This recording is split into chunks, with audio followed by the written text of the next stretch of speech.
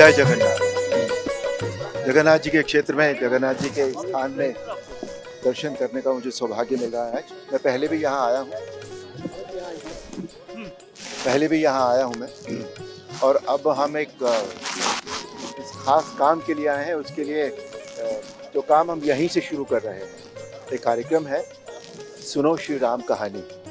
जो म्यूजिकल है, जिसमें रामायण के संवाद हैं, जिसमें रामायण के सीन्स हैं, और काफ़ी कुछ एंटरटेनमेंट भी है।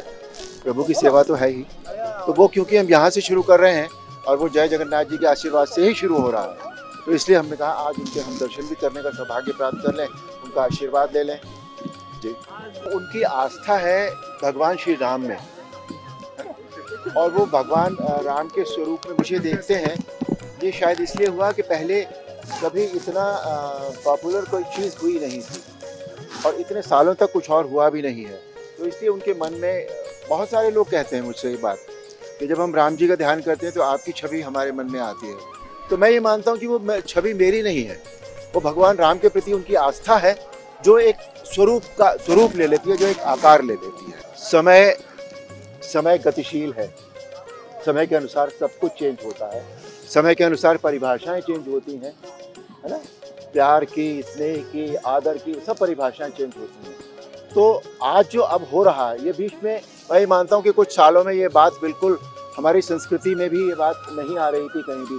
पर अब संस्कृति भी हमारी, हम लोग कोशिश कर रहे हैं कि सनातन को उजागर करें माता पिता के सम्मान को फिर से स्थापित करें।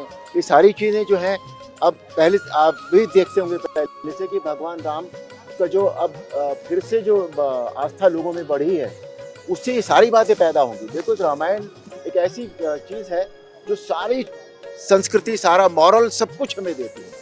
तो मुझे लगता है ये बात अब फिर से बच्चों के मन में माँ बाप के मन में भाई भाइयों के मन में पारिवारिक प्रेम जो है वो फिर से बढ़ना शुरू है। है। में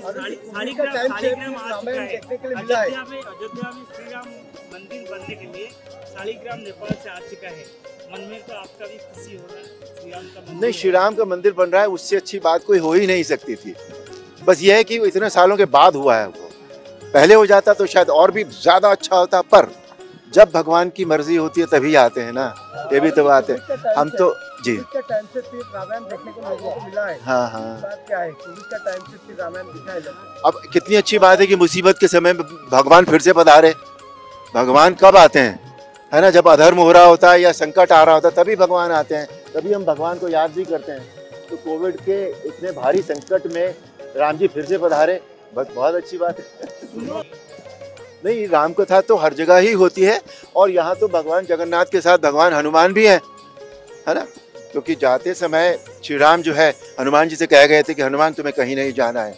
जगन्नाथ जी आएँगे तुम्हें उनकी सेवा करनी है। तो जहाँ हनुमान हो वहाँ तो राम से राम कथा होनी ही है। जय जगन्नाथ। जय जगन्नाथ।